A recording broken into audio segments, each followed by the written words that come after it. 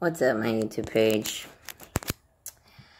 I have some time right now to myself, so I'm taking advantage of it to make a video. Um, not sure exactly what I'm going to talk about just yet.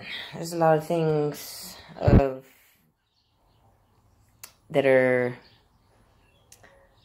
bothersome, I guess, at the moment in my mind that I've just kind of categorized into certain areas to deal with later. Um, so, yeah. Right now I'm just working on this thing right here, which is a paddle, basically a weapon that's gonna be sold to someone we know. Um, so yeah. It has to do with the cartels, actually. It's uh, Santa Muerte.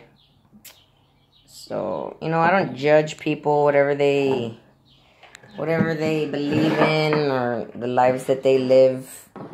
I don't, I don't personally have any judgment towards so long as there's no innocent people being harmed or being, you know, killed or taken advantage of. That's the only thing that that concerns me about the the fuckery in the world is innocent people, people that are that are weak-willed, weak-minded that just, you know, are trying to survive. Those are the types of people that I feel shouldn't be taken advantage of or hurt and those are the people that are preyed upon a lot the most especially here on this planet so I get upset about a lot of shit like that. But not everybody, you know, not everybody that is part of that, those criminal sectors of the world have those. T- actually, to be honest, a lot of the times the criminal sectors of the world have some of the most ethical people as far as,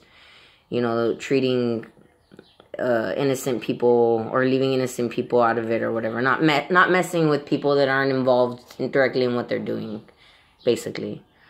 Um, I mean, there's plenty of stories of prisoners that have saved, you know, guards from being attacked from other by other prisoners, and that have helped, you know, stop fights between other prisoners. Like it doesn't happen all the time, obviously, but there's plenty of stories like that that you could find out there, and there's plenty of stories of prisoners that kill, you know, other prisoners that have harmed innocent people, you know, their kids or other innocent kids or innocent women, just innocent people in general. They, you know, they don't like that and they they do something about it in their own way.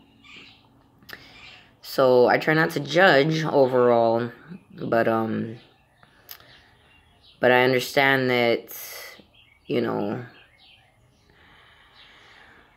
that the world is not just black and white. You know, it's there's a lot of gray area in between everything and it's it's that gray area that I have a hard time, you know, juggling my morals in cuz it's like so contradictory it sometimes and it's just very hard to you know to find a balance within it all to a, a balanced perspective about it all and um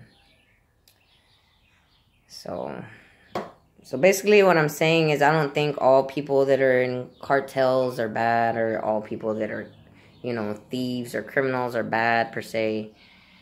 Um and yeah that's something we need to look into more